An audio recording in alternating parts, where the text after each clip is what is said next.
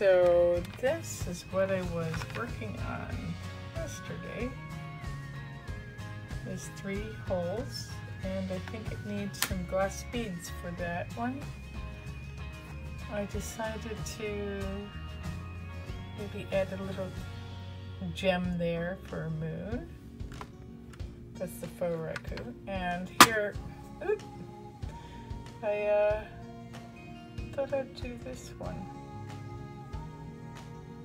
I think I'm going to try it again and use a different flower. And sorry, but the crystals do not show up in the video. They're very pretty in person.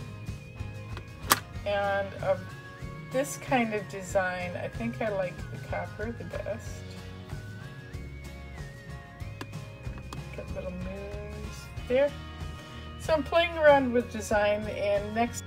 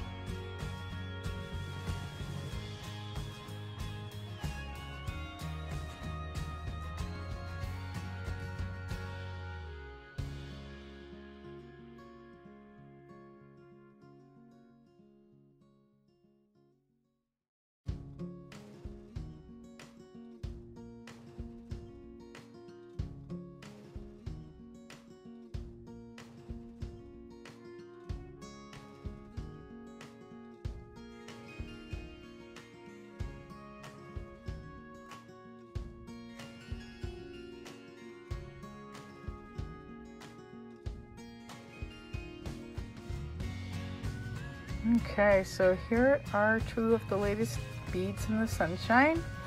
And I love the little sculpted details I made. One is a blue puzzle piece for autism awareness, and the other is a little heart.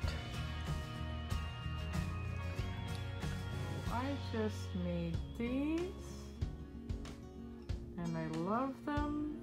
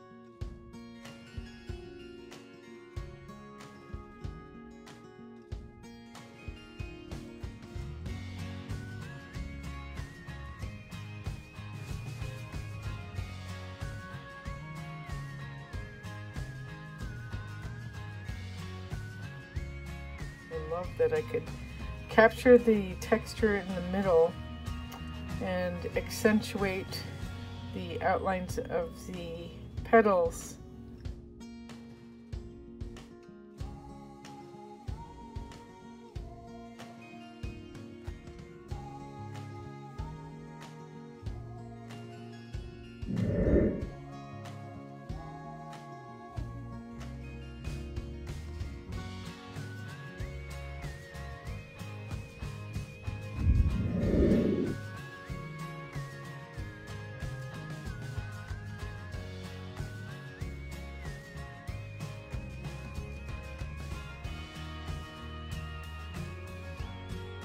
Scofield and these are my first glazed goddess pendants that I've made.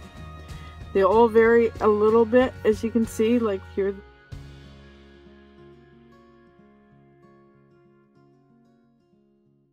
Of making incense burners. So but I think I would inlay this into a larger piece. So it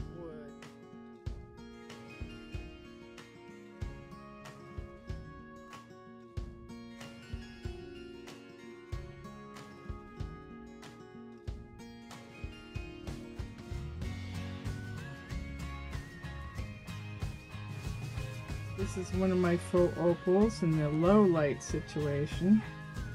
So you can imagine what it looks like in broad daylight. Unfortunately, it won't let me capture that too well. But uh, I've gotten a lot of compliments on these and comments like they are they look like they're lit from within. But as you can see, it's just. But it's still a fun.